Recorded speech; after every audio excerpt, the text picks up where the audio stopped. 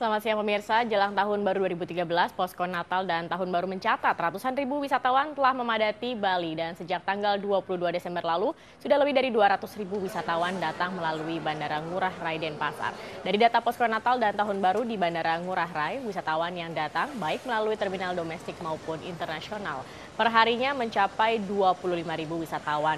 Jumlah wisatawan yang datang ke Pulau Bali ini belum terhitung dengan yang datang melalui laut dan darat. Diperkirakan kedatangan wisatawan ini masih akan terus meningkat hingga puncak tahun baru nanti.